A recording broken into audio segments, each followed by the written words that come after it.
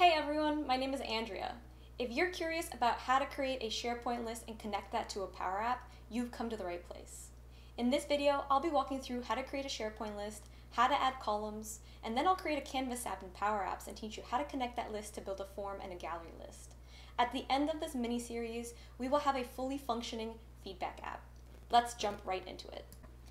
Since we're already familiar with the Maker portal for Power Apps, we're going to start from here, and then we're going to click on the hamburger bun, select SharePoint, and you can skip this step if you already know how to get to your SharePoint site.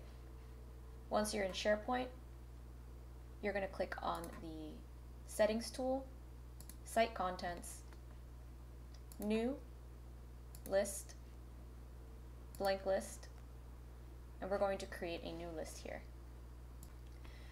So for our feedback app, I'm going to name this list feedback list and the description will be main list for feedback items. I'm going to select create. So to get started, we're going to start adding columns. We're going to add three different columns for now. A feedback column, a description column, and we're going to add an ID column. We're going to start out by getting rid of this title.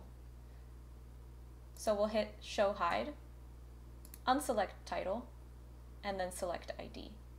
We're going to use the ID for when we start connecting different lists to each other so that they can talk to each other in the Canvas app. Hit apply, change the name of this column, select single text. This will say feedback. Save. New column will be the description field, the description of the feedback, multiple lines of text. Save. And there, we have our feedback list. Now let's go back to Power Apps. Same navigation. Click Power Apps, Solutions. We're going to create a new solution for this feedback app. So we're going to click Solution and then New Solution.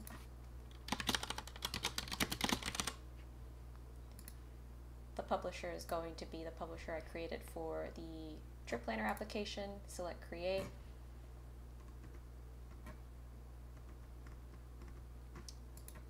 Click into the feedback app, select New, App, Canvas. We're going to select Tablet.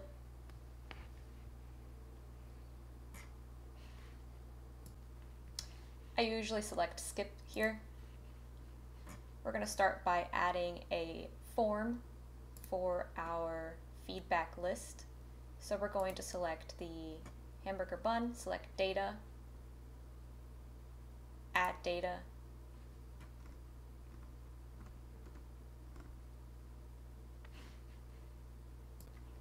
We're going to select this drop down for connectors and start typing SharePoint. We're going to select connect directly.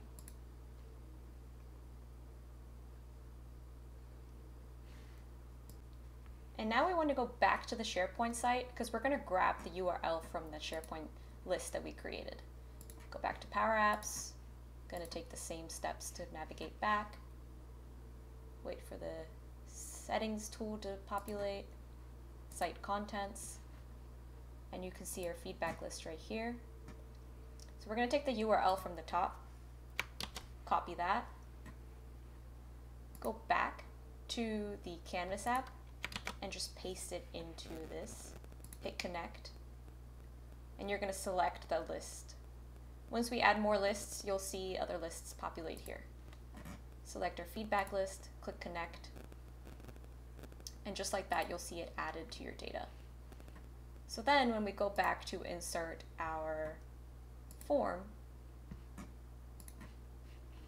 I'll zoom in here, you'll see that we can connect to data. We'll select the data source feedback list here.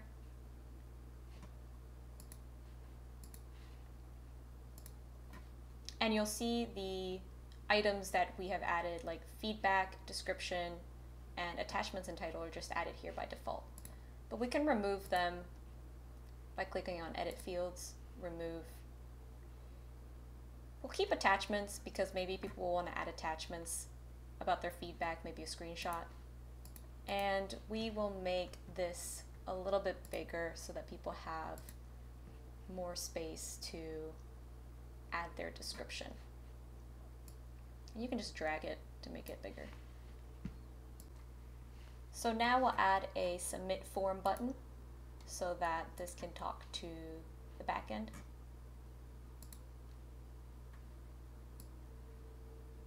Oh, I do want to click out of this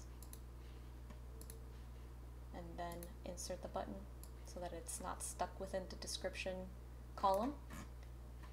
And then on select, we're going to say submit form. And then the only form we have so far is this form one, which is the form we just added. Close it with a parentheses and a semicolon. Change the text if you'd like.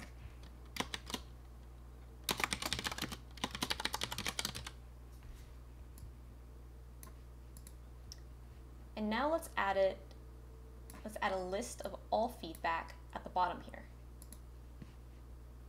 So we'll go back to insert. We'll say display.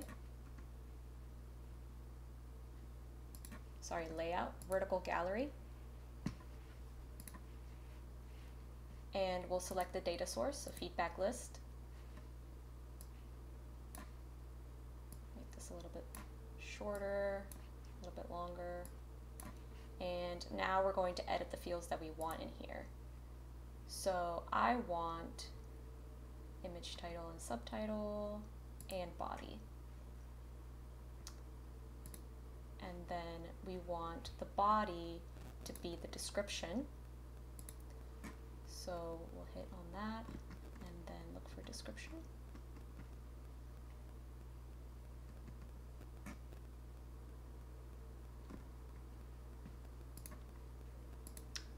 Image two, we'll leave that blank. We're going to use that for voting purposes when we get to that. Uh, and we're going to have a button and then uh, have a number field. And we're going to increment that number by one every time someone hits the vote button.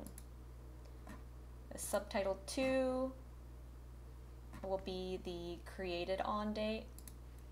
And the title will be feedback.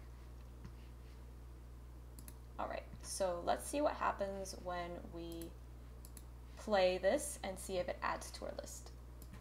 Before we play, click inside your form, like that, and then make sure that the default mode is set to new. And then select play.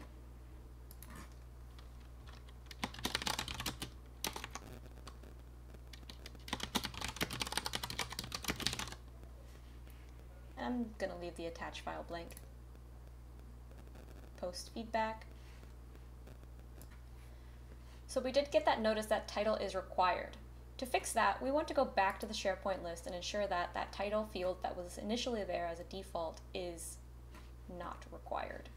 So we'll go back to the feedback list, select the settings, list settings, go back, go down to title, see that it's required, click the column for title, and ensure that this is selected as no.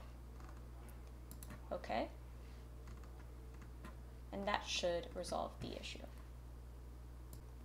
Let's go back to our Canvas app.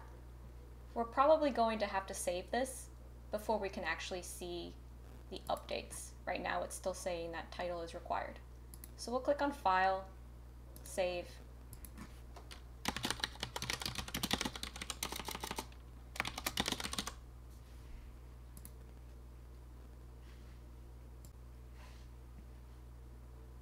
hit the back button, refresh your screen, reload,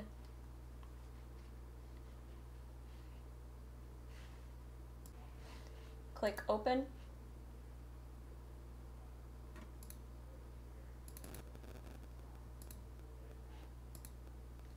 select your feedback app that you just saved,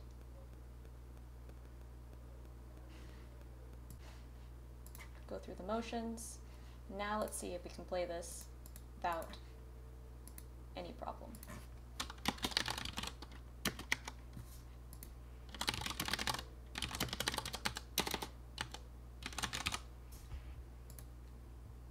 And as you can see here, it's been posted to our list. We still don't have a screen to uh, tell the user what to do next after they post the feedback, but we see that our list is working and the form submit is working as well. Now if we go back to SharePoint and go back to our feedback list, hit the refresh button, you'll see that the entry has been added to our list with an ID of 1.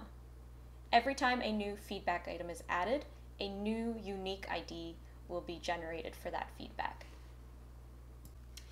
In the videos to come, we will continue building a feedback app.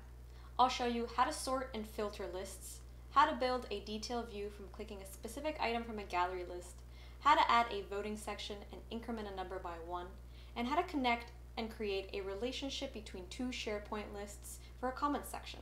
Join me on this journey.